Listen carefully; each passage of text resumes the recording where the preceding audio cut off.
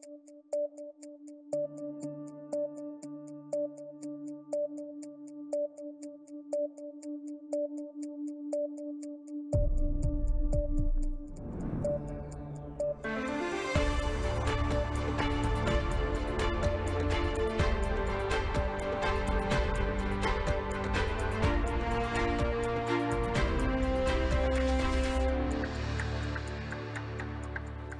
Новости продолжают эфир канала 24 КЗ. В студии работает Вера Захарчук. Здравствуйте. Премьер-министр провел заседание Республиканского штаба по координации противопаводковых мероприятий ликвидации последствий водной стихии. Помимо представителей Кабмина в состав штаба вошли а, руководство администрации президента и руководители центральных и местных исполнительных органов. Всего а, из зон ЧС эвакуировали больше 11 тысяч человек. В пунктах временного размещения находятся почти 5,5 тысяч пострадавших. Помощь населению оказывают, оказывают круглосуточно в том числе с привлечением воздушных судов. В работе задействованы более 7 тысяч человек, используют они свыше 2 тысяч единиц техники. Ведется мониторинг водохранилищ, рек и регионов, где остается риск обострения паводковой ситуации. Более 11 тысяч человек в целом у нас с начала паводков эвакуировано. часть из них уже вернулась э, в дома, где вода ушла. Но большая часть пока не имеет возможности вернуться в свои жилища, поэтому они должны быть обеспечены всем необходимым. Здесь надо очень четко акиматам просчитывать все ресурсы и оказывать помощь людям. Начать надо уже с сегодняшнего дня, где есть такая возможность, начать оценку ущерба и уже незамедлительно приступать к оказанию материальной помощи людям, к возмещению причиненного ущерба. Ресурсы есть, все будет восстановлено. Здесь же в правительстве обсудили вопросы механизмов и источники финансирования для возмещения ущерба пострадавшим. На заседании Республиканского штаба сообщили, что предварительный размер ущерба будет определен специалистами сразу трех министерств. На восстановительные работы и строительство разрушенных, э, разрушенного жилья будут выделены средства из резервов правительства и местных исполнительных органов. Списки граждан, чье жилье признают аварийным, будут формировать в акиматах на местах. В Карагандинской области режим ЧС ввели э, в Щетском районе. Здесь сталые воды потопили более 30 домов. В трех селах около 300 жителей были заранее эвакуированы. Произошли переливы на трассах республиканского и областного значения. Несколько участков закрыты. До сих пор водители пользуются объездными дорогами. Талые воды отрезали от путей. Сообщение и э, село Шопа. По данным местных властей, связь в районе не повреждена. Прогнозируется подъем уровня воды в реке Щерубай-Нура. Там проводится работы по укладке мешков с инертным материалом и возводится временная дамба.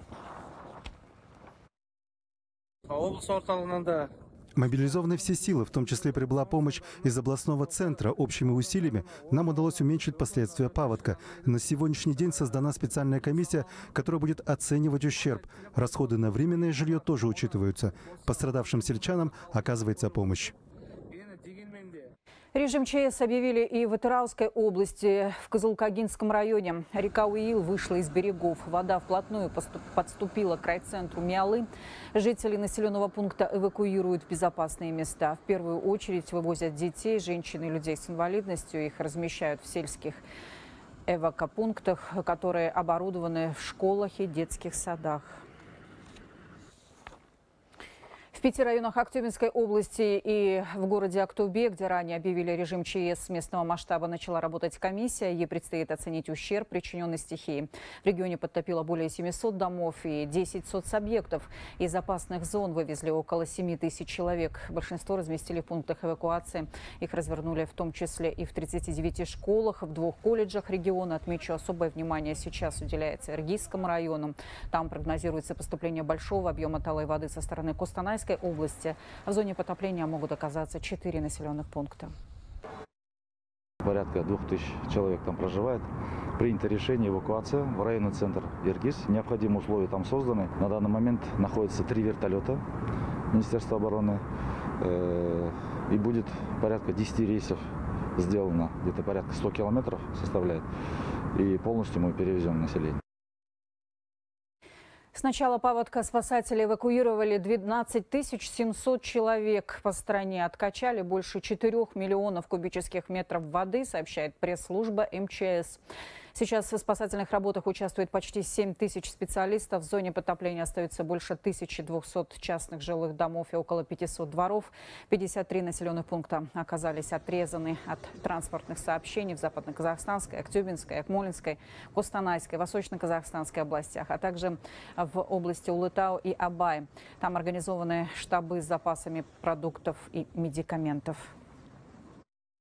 В 12 регионах страны спасено и эвакуировано более 12 700 человек, из них 4 728 несовершеннолетних. В Актюбинской, Западно-Казахстанской, Акмолинской, Костанайской областях в пунктах временного размещения находится 6461 человек, из них 2570 детей. При этом привлеченными воздушными судами эвакуировано 961 человек, из них около 260 дети. Круглосуточно работают телефоны горячей линии. Уже поступило 592 звонка. Продолжают функционировать республиканские областные оперативные штабы. Гуманитарная помощь продолжает поступать в Амангельдинский район Кустанайской области. Это один из трех южных районов, пострадавших от э, паводка в регионе.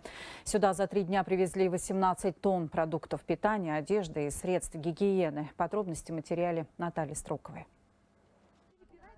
Семью Камбат Давлеткиреевой из шести человек эвакуировали в районный центр Амангильды. Они разместились у родственников, получили запас продуктов на 10 дней. Без одежды ничего не взяли, ничего не это. Дом затопило. Все бросили. Главное, чтобы дети были. Ну, вот приехали сюда. Обеспечили всем. Дом под воду ушел. Мы уехали, сын остался. Смотрит за скотом. Одна телка у нас погибла. Пришли сюда за гуманитарной помощью. В этот волонтерский штаб в райцентре Амангельды поступает гуманитарная помощь отовсюду, в том числе из столицы.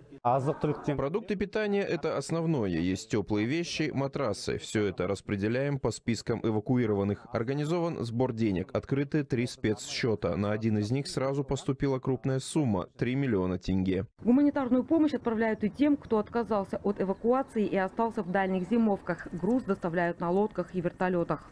Обязательно по приезду ряд депутатских запросов мы подготовим. А, здесь в первую очередь проблема, конечно же, транспортная инфраструктура. Нам здесь в Аркалыке нужен хороший аэропорт, нужна сеть э, автомобильных дорог, потому что ситуация показала, что проблема в первую очередь транспортным обеспечением. Даже привозить авиатопливо, те же самые гуманитарные грузы, нужно строить дороги в регионе. Пострадавшим во время паводка начали возмещать ущерб. Деньги на восстановление движимого и недвижимого имущества выделяют из областного бюджета. В каждый дом зайдут, посчитают причиненный ущерб. Для этого в Джангельдинском и Амангельдинском районах и в Аркалыке созданы комиссии. Если речь идет о гибели скота, то каждая голова должна быть зарегистрирована, чтобы люди могли получить компенсацию. Пострадавшим от паводка семьям начали выплачивать компенсацию. Ее уже получили больше 180 человек. Наталья Строкова, Сергей Тростенберг, Костанайская область, 24 КЗ. 20 тонн гуманитарной помощи направили из Астаны в Аркалык. Жителям, пострадавшим от наводнения, доставят продукты питания, предметы гигиены, обогреватели, также необходимый инвентарь и специальные водяные насосы для откачки воды. В сборе и доставке гумпомощи были задействованы активисты Конгресса молодежи Казахстана при поддержке фонда «Базбергемус». Наряду с этим в потопленные районы Кустанайской области отправили, отправилась группа волонтеров. Напомню, в результате интенсивного таяния снега сразу в нескольких районах города затопило несколько десятков дворов и частных жилых домов. До этого наши волонтеры, активисты работали э, в противопаводковых мероприятиях э, в поселке Хоянда, Талапкир, Акмолинской области. Вот сейчас приезжаем в Косунайскую область, чтобы участвовать в противопаводковых мероприятиях. Также в будущем планируем такие же гуманитарные помощи отправлять в другие области. Это наша Западно-Казахстанская область, Актюбинская область. 88 школ начнут обучение в четвертой четверти дистанционно из-за паводковой ситуации в стране, сообщили в пресс-службе Министерства просвещения. На онлайн-формат перейдут 56 организаций образования, находящихся в зоне риска, и 32 школы на, территории, э, на территориях которых развернуты эвакуационные пункты. В ведомстве отметили, что дети, которые находятся в этих пунктах, обеспечены одеждой, школьными принадлежностями и техническими средствами для дистанционного обучения. Решается также вопрос Э, с питанием для учеников первых-четвертых классов. Теперь о ситуации в мире. В Алтайском крае, в соседней России, талые воды перекрыли автомобильные дороги. Многие улицы превратились в реки. По последним данным, в регионе потопленными оказались больше 900 приусадебных участков, 480 домов, также 9 участков автодорог, сообщают в МЧС страны. Автомобильная дорога К-03. Размыв дорожного полотна. В зоне потопления порядка 40 населенных пунктов. В ряде районов ввели режим ЧС. К примеру, в одном из сел сейчас развернуты водоналивные дамбы, подготовлены два пункта временного размещения. Сейчас ведутся работы по ликвидации последствий подтопления в регионе. Всего задействовано 2600 человек и больше тысячи единиц техники. Фиксируются паводки и в Калужской области. Уровень воды в реках Протвая-Угра превысил критическую отметку. Потоплены десятки приусадебных участков, нарушено движение транспорта. По, э, до некоторых населенных пунктов нельзя добраться. Для сообщения организовали круглосуточную лодочную переправу. Режим повышенной готовности из-за паводков ввели в Оренбургской области. В регионе ограничили движение по 34 мостам. Потопление домов наблюдается в 23 населенных пунктах. Белорусском районе под воду ушла целая электроподстанция. По данным МЧС, в зоне риска еще 257 районов. Спасатели работают в круглосуточном режиме. Проводятся превентивные мероприятия. Ульяновская область поставила в этом году рекорд по объему снега. Областной центр вошел в тройку городов с самым высоким снежным покровом в рейтинге Гисметео. Там за зимний сезон выпало 140% среднегодовой нормы снега. В итоге в период таяния в зону потопления попали свыше 500 домов в 20 населенных пунктах. Пожарные откачивают из подвалов воду. Спасатели экстренно расчищают русла рек, чтобы избежать заторов. Оставшихся, оставшийся лед взрывают. Сложная ситуация и в Саратовской области. Там уже неделю на улице плюсовая температура. Как результат, из берегов вышли 24 реки в 17 районах. В опасной зоне несколько сотен домов. Под воду ушли 10 мостов, участки региональных автотрасс. Потопление жилых домов и дворов паводковыми водами в большей степени отмечены в 11 населенных пунктах. Норма водохранилища там а, превышает 126%. Отмечу, весеннее половодье охватило 22 российских региона регионам. По данным гидромедцентра, паводки в этом году вызваны обильными снегопадами и аномально теплой зимой. Сильные дожди накрыли американский штат Калифорния. Из-за непогоды большая часть региона столкнулась с наводнениями, сообщает местная метеорологическая служба. Больше всего от удара стихии пострадал Сан-Диего. За сутки там выпало до 50 миллиметров осадков. Порывы ветра в городе достигают 90 километров в час. Потоплены десятки домов, нарушено транспортное сообщение. На дорогах участились случаи ДТП. Власти объявили режим ЧС. А жителям рекомендуют не пренебрегать предупреждениями системы экстренного оповещения. На Мадагаскаре уже третий день не утихает шторм Гаман. Непогода принесла с собой проливные дожди и ветер с порывами до 200 км в час. По меньшей мере 18 человек погибли в результате затопления. Еще 7 тысяч пострадали. Больше 50 тысяч жителей эвакуировали. А, разрушены сотни домов, повреждены мосты. По прогнозам синоптиков, шторм должен был обойти Мадагаскар в Индийском океане, но резко изменил свое направление, обрушившись на северную часть страны.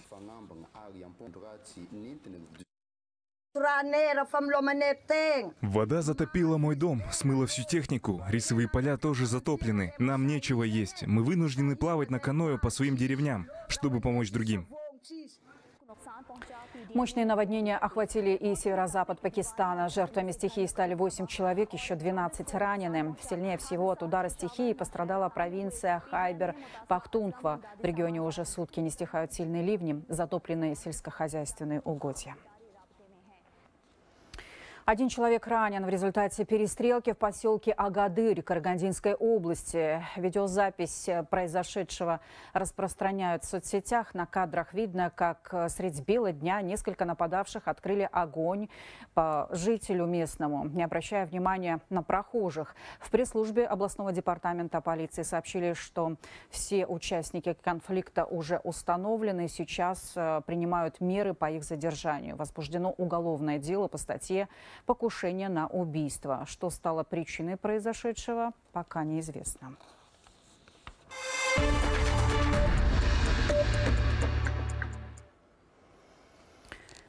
В области Абай растет количество предпринимателей. Этому способствуют меры господдержки, гранты, льготное кредитование. Только по программе АУЛ Аманате в прошлом году выгодные займы получили 363 человека. Продолжится ли программа и в этом году, узнали наши корреспонденты. Грант от государства позволил начать свое дело жительнице Урджара Жанар Мусабаевой. Она открыла небольшой цех по изготовлению полуфабрикатов и теперь обеспечивает своей продукцией весь район. В планах расширить производство и покорить уже областной центр.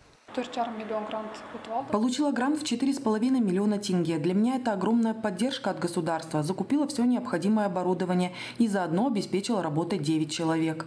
А в селе Караул, благодаря программе Аула Манаты, появилась новая мини-ферма. Дарья Жамбулатова получила льготный кредит в 8 миллионов тенге. Купила 16 голов крупного рогатого скота, 5 из которых племенные. И сейчас перерабатывает молоко и продает свою продукцию. Одну из комнат дома превратила в цех. Я здесь работаю, готовлю творог, сметану. Теперь в планах расширить сарай, земля для этого есть. Тогда уже увеличим поголовье. Помимо молока, мясо начнем продавать. В целом в Абайском районе в прошлом году по этой программе выгодные займы на 114 миллионов тенге оформили 17 человек. На эти деньги люди закупили 265 голов скота, в том числе 140 коров и 125 лошадей. Большинство выбирали племенных животных. Теперь хотим продолжить программу. Уже объехали все села, составили список желающих участвовать, порядка 100 человек. А финансирование начнется в мае. В прошлом году из бюджета область Абай по программе Аула Маната получила больше 2 миллиардов тенге. В итоге в регионе появилось порядка 300 новых рабочих мест, а в сезоне 2024 льготным кредитованием операторы программы планируют охватить уже свыше 500 жителей региона. Анна Лисенбергна, Азамат Касам, Медит Умерханов, область Абай, 24, Кизет. Молоко из фиников начал делать житель Тараза. Для этого начинающий бизнесмен Амухит Колкабаев выиграл безвозмездный государственный грант, открыл мини-цех и создал рабочие места. По словам предпринимателя, такое производство альтернативного молока в нашей стране наладили впервые. Анастасия Сулейманова расскажет. Мухит Колкабаев четверть века проработал в банковской сфере, а в прошлом году решил открыть свое дело. Мужчина представил проект по производству финикового молока. Бизнес-идею поддержали в управлении и предпринимательства. Так начинающий бизнесмен получил безвозмездный грант на 5 миллионов тенге. На эти средства закупил оборудование отечественного производства и открыл мини-цех. В месяц выпускают порядка 6 тонн альтернативного молока. Бизнесмен обеспечил работой четырех человек. Готовый продукт реализуется в городе Тарас э, но полностью город мы не можем пока э, снабдить. Планируем увеличить объем производства минимум в 5-10 раз. Э, также планируется выпуск нового напитка. Кроме этого, у нас есть в планах выпускать, э, производить кофе из финиковых косточек. Өте пайдалы. Молоко получается очень полезным, без сахара и добавок. Это натуральный продукт. Сначала про нашу продукцию почти никто не знал, поэтому выпускали немного. А сейчас уже наращиваем объемы производства. В прошлом году в регионе безвозмездные государственные гранты выиграли четыре начинающих предпринимателя. Они предложили производить парфюмерию и перерабатывать шерсть. На реализацию бизнес-проектов из республиканского бюджета выделили 21 миллион тенге. С этого года ввели изменения. Теперь в конкурсе на безвозмездные гранты будут участвовать финалисты программы «Одно село, один продукт» и жители, которые числятся в списке социальных предпринимателей. Предприниматели, которые в наших селах производят товары, они участвуют в этом конкурсе. А второе – это у нас Республиканский реестр социального предпринимательства. Это предприниматели нашей области, которые помогают социально уязвимым слоям населения нашей области. То есть они их трудоустраивают, они для них производят товары, либо же предоставляют услуги. В нашей области есть три финалиста программы «Одно один продукт» и 12 предпринимателей вошли в реестр республиканское социальное предпринимательство. Конкурс на получение государственных грантов проводят раз в год. На этот раз отбор лучших проектов проведут осенью. Анастасия Сулейманова, Тимур Сельхан, Эльдар Бадельда, Тарас, 24 КЗ. Педагоги Мангостауской области стали авторами книги о традиционной стрельбе из лука. Двое учителей средней школы Муналинского района работали над изданием почти год. Это учебное пособие о традиционном казахском искусстве для тренеров и спортсменов. Методичка уже получила одобрение в Министерстве науки и высшего образования. У Тамары Степановой все подробности. Саламыз оң жағына. Бас саламыз сосақпен үстен басамыз и міне В стрельбе из лука важны любые нюансы, даже оперение на стрелах. Занятия по этому виду спорта в школе села Тамикен проходят два раза в неделю. Садакату здесь увлекаются и мальчики, и девочки. Садакату жалпы мергендікке үйретеді этот вид спорта научил меня меткости и повысил внимательность. Еще он тренирует зрение. В других школах подобных кружков почти нет. У нас он работает с 2017 года. Наши наставники недавно выпустили учебник, и по нему мы занимаемся. Это очень увлекательно.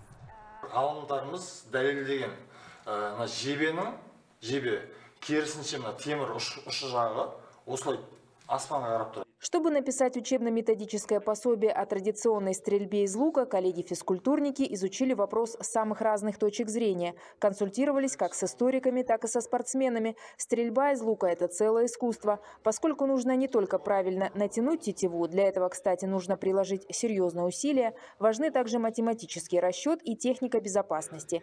Книга знакомит с национальным видом спорта и дает рекомендации для тренировок. спорт осы дәстүрлі садақ ату у нас есть предложение включить наш национальный вид спорта, традиционную стрельбу из лука в школьную лигу. Тогда появится возможность подготовить будущих чемпионов в стенах школы. Мы готовы делиться своими знаниями и опытом с любым желающим, будь то спортсмены или же преподаватели из других городов, которые хотят открыть свой кружок. Традиционную стрельбу из лука утвердили в Казахстане официально как вид спорта в 2022 году. В том же году в Жанаузене прошел первый чемпионат страны. В настоящее время в Мангыстау занимаются стрельбой из лука примерно полторы тысячи человек. Работают 9 частных тренировочных клубов. В этом году при Государственном центре национальных видов спорта области планируют открыть отделение по традиционной стрельбе из лука. Тамара Степанова, Ринат Дусалиев, Мангыстауская область, 24 КИЗ. Секреты древних ремесленников э, сохраняют в Туркестанской области. Искусство изготовления седел там до сих пор передают из поколения в поколение. Один из потомственных мастеров, Курбанали Агадилов, э, живет в Тулебийском районе.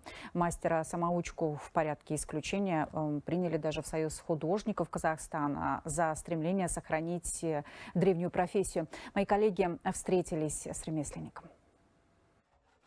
В этой мастерской культурный код Курбаналея Гадилова буквально в каждом изделии. Без инструкции, уроков в интернете, все по зову души. Так в его руках рождаются седла, которые стали разъезжаться по миру. 31 год назад, вспоминает мастер, во время встречи трех президентов Казахстана, Узбекистана и Кыргызстана на горе Ордабасы им подарили по седлу. Основание для них делал Курбанали Агадилов. Отделкой занимались другие мастера. Позже сидельщик и сам научился работать с кожей и ювелирными изделиями. Вот седло, угу. вот.